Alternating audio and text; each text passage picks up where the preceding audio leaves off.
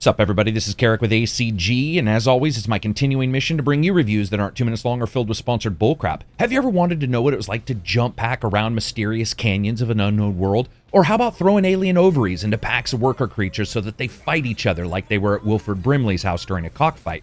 Well, you can now because Ubisoft has the DLC Lost on Mars for Far Cry 5 to sate those strange urges you may have.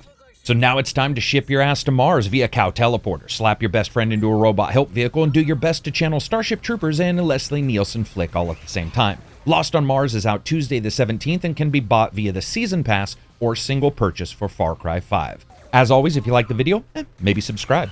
So here's my review for the Far Cry DLC, Lost on Mars, playing a space jerk, cruising with Herc, and laser gun and always fun in space-based mercs. Graphics are up first. It's good to go into the game knowing that, yes, it's Mars. It's not going to be known for its verdant forest stretching out into nothingness, pushing graphics cards to their max with their fill rate. Instead, Mars is known for rocks. Pretty rocks, though, and at times it does actually look good with a fairly drawn out distance and some cool effects on weapons, but it is a far starker look than, say, Vietnam or Far Cry 5 itself, and can take a bit of getting used to for gamers, especially when we see competition like, say, the Prey DLC with more interesting and varied moon locations. It's surprising to me, honestly, to see how little the DLC ends up doing with this location. But that being said, two things do differentiate the details in Mars versus the prior game and its DLC, and that is, of course, weapons and creatures. Sadly, the weapons hinge more on the slick look of, let's say, Mass Effect weapons, and aside from some graphical adjustments for the beams or pulses themselves, most of the guns end up looking like they were all pressed from the same Gold Star VCR maker assembly line. The one particular standout is a shotgun, not necessarily for its look, but for its weapon use. It basically treats the entire world like you're Luke inside the Death Star trash compactor, and firing that off inside any area is a hilarious moment of rebounding lasers pulsing throughout the air and killing everyone in a small radius. It also happens to be one of the few guns that adds strategy to the title, but I'll get to that in a second. I will say one thing that I was happy with overall was the creature design. Think armored space spiders wearing bulletproof armor and then run them through a crazy color generator, and that's the normal enemies. But it's the absolutely abhorrent abomination that they call the Queen Alien that takes the cake here. And when they lean back and they start to race forward like some terrifying cartoon character, hinging on these physics that aren't exactly Earth like, it can work really well to make you nope the fuck out of whatever area that you're in right then. That being said, other than spitting at you or smashing the shit out of you with pinchers and flailing thingamajigs, they don't really do much else because spiders don't have arms, which I think is a positive fact we can all agree on. Second is the fact that the weapon variety and effects don't really do much. Getting a shotgun laser weapon and then buying its brother doesn't elicit much of any real change, and that could have been a good way to break up the overall feeling of sameness that Mars has throughout its entire length. Of course, the aforementioned amazing shotgun of Fantastic Lights Plus 5 I mentioned before is notwithstanding. Now, performance-wise, the game does run outstandingly well, and that's not surprising since much of the time you're playing in a desert planet's wasteland. It runs a bit better than the original game and has the exact same options as the original, which is nice as Far Cry 5 did have a pretty generous set of options for graphics, audio, and control. For console, you also get the exact same options as you had with the original titles. Overall, I have to say this it's Mars. There's a reason why every time we see a rover pick from there, everyone responds in one collective indifferent shrug. Even in the fantastic elevated fantasy of Far Cry 5, it's not really that atmospheric, and I feel like they could have done a lot more, even with just small graphical effects. Sound, music, and voice.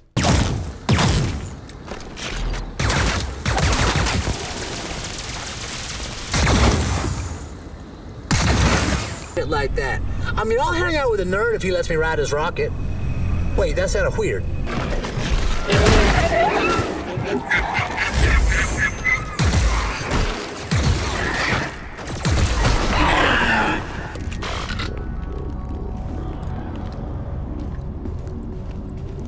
And this time we're going to do music first. This is excellent. It's a heavy synth mix between, say, a John Carpenter score and the first time you figured out how to use Cakewalk in Ableton. It's heavy on the thick synth and it resounds with a number of tracks that harken almost to the sublime soundtrack I've talked about before, the 2D scroller Headlander, while being at the same time a bit more subdued, not overly calling attention to itself until there's a poignant moment that happens. But the standout here absolutely has to be Herc, playing his damn music out of his bot all the time. He has these one liners about whatever's playing. Just consider him a floating jukebox with questionable AI and a more mysterious classics collection. It's a fantastic use of diegetic music as well, and it does a perfect job mending all of those elements together, even though in the end, when you look at them, they're pretty different. This is my kind of music for my kind of game, but it's not going to fit everybody.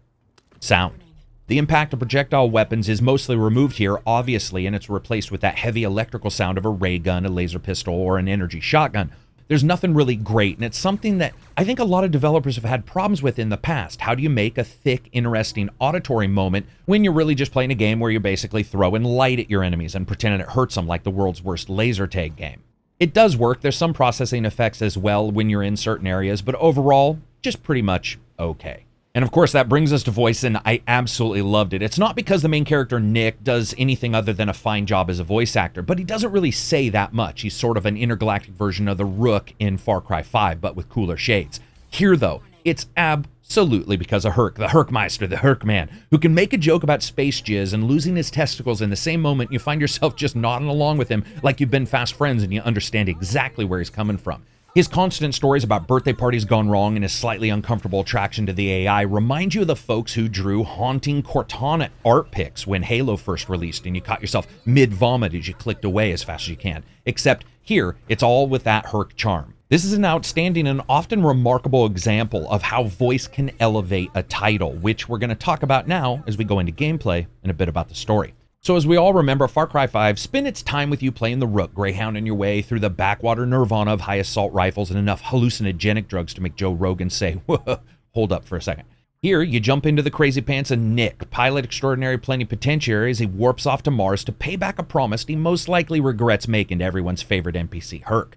How he gets there is a bit of an inside joke, especially if you did particular actions during Larry Parker's quests in Far Cry 5. And arriving on Mars, your job's fairly simple. Like a reverse William Wallace, Herc has been pulled apart, but it's your job to instead find his body parts, including, yes, his man boobs, as you trape across the unwelcoming landscape of Mars, and then glue them all back together. You're also there to help a mysterious AI system stop an alien invasion from making its way to Earth, but that's really sort of beside the point because the narratives of these two are in direct opposites of one another. One being good, the other being absolutely, almost terrifyingly bad. With the Herc parts of the quest, you're consistently bombarded by stories he's telling you and a continuation of the Far Cry 5 dynamic, and it sets this hilarious crux into the game that works well to keep you moving around the very small area the DLC is based on and find those parts. You'll find his leg in one place, his junk in another, and Herc isn't afraid to admit he doesn't want to talk about how that happened, or discuss the awkward realization that one of his arms is more well defined and muscular than another. It is classic when it comes to those parts. Sadly, when it comes to the alien parts of the story, which is the overarching area, it is pretty much just boring aliens. You even have a discussion with the AI that's maybe helping you along the way about how the entire plan of the aliens seems incredibly basic and boring. And to be honest, yeah, it is. And while it was an attempt at an inside joke, it's an outside travesty at times. Because when you're not finding Herc's man parts, you're jetting to small numbers of complexes to turn the power back on to give more computing power to the AI. And I'm pretty sure anyone who can understand basic movie plots knows what's going to happen. Go to a tower, get in a fight with enemies, kill enemies, turn power on, rinse, repeat. I mean, even later with queen aliens and flying arachnids the size of politicians' egos, the little gameplay changes that occur are never really enough to get it off its feet. And you know that even after the first encounter with the very first tower. But it's not all bad. In fact, there's a lot of interesting parts. For example, one element is the way you travel around the world. Mars itself is separated into two basic main sections of land you can walk on. One, without alerting the aliens, that's hard rock and packed earth, and sections you can't, like anything loose and sandy areas. And if you touch a boot into the sand, it is go time, which adds this really cool amount of strategy to the game when you're fighting a large number of enemies and having to hot foot it across a dangerous area because you don't want to add to the total number of aliens that want to treat you like a bipedal brood home. There's another kind of section too, but I don't want to ruin it for this review because it easily highlights the game and I think luckily pops up a couple times. And the first time it does, you're like, wait, what? When you take this in comparison to Far Cry 5, the gameplay loop of 5 was stunningly simple. Walk outside and let anarchy happen. Women are transforming into mountain lions, planes are spawning inside of helicopters, and two cars that come even remotely near one another have about a 50-50 chance of turning into a Ford Atlas rocket. But for most of Lost on Mars, that fun and that anarchy is actually missing. Another issue is that the game never really reaches out into the idea of being on Mars. Sure, gravity's much looser, and you have a jetpack, which does set up for some sphincter tightening times, leaping across mysterious alien remnants to get to the top of, yeah, more towers. But that's the difference, because in Far Cry 5, it was about living in a place where every baby didn't have an umbilical cord. They had a friggin' M4 assault rifle pointing out of their belly button, and if they didn't score a perfect headshot on the doctor, they weren't allowed to leave the birth canal.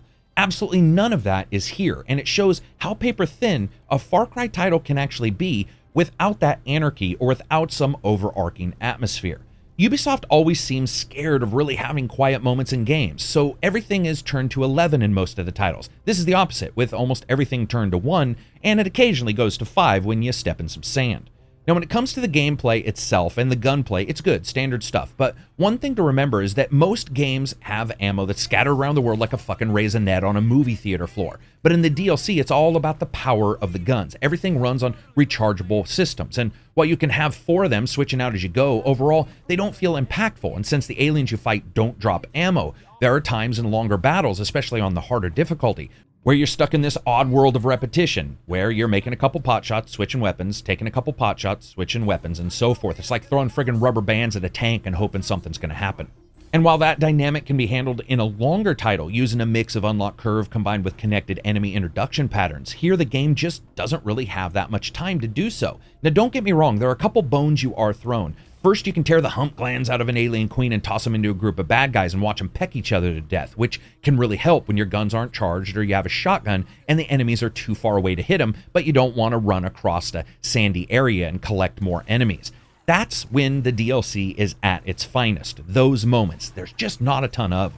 And of course, speaking of length, the game is about the same length as the Vietnam DLC, which means short. It's a couple hours at the absolute most. Of course, the biggest question is are those hours filled with fun? And that brings us to fun factor. First, I have to say the humor carries a lot of this game. It is friggin' spot on. Herc and his voice actor relish in finally getting at least a co star billing. His continual explanation of the chemical used to build items as space jizz is as grody as it sounds. In fact, much of the game is really seen through the narrative eyes of Herc responding to every event occurring on the screen. It is fantastic use of a character, and it shows that the devs of Far Cry know exactly what they're doing in that particular element. In fact, a number of in jokes from Far Cry 5 show up here, and that's where the DLC is once again doing really well and hitting on all cylinders.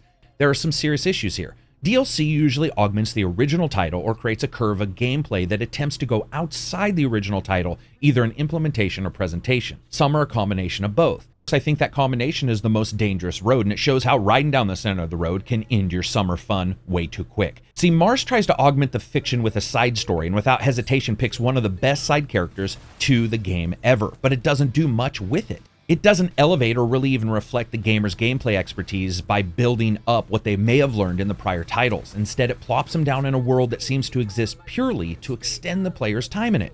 One big example is a large section you're going to lose the use of your jetpack for no other reason than simply because, working to do nothing more than fluff out the game experience prior to that money shot ending. You're left with two gameplay conceits sitting heavily noticeable right next to each other. I had a couple great moments in the game. But even the hilarity of Herc and the occasional oh shit moment as an alien queen decided to treat me like a pinata, it never actually really got going when it comes to fun factor. So you guys know I rate games like this on a DLC scale to get it right away or maybe jump in later or not at all. With this, I have to say later, Herc almost saves it, but the long pedestrian moments where you're just jetpacking around Mars until you find another tower is really too lackadaisical for me to suggest that folks really rush out to get it. Feels like an arcade level from the Far Cry arcade, but blown out to bigger proportions, but without a lot of the fun. The price is excellent, and a lot of folks are going to download it as they consider the season pass they bought a part of the original purchase and not a new one. And I can see that. But for me, I just can't agree with it. So that's it for me. I hope you guys liked the video. If you did, give it a thumbs up. If you didn't, give it a thumbs down. Maybe check out Reddit or Twitter. And of course, you can become a patron on the Patreon website. It absolutely helps, especially as every friggin' video I put up gets demonetized or, as of right now, getting copyright struck by a bunch of different bots. It really does help. Peace out and enjoy the rest of your week.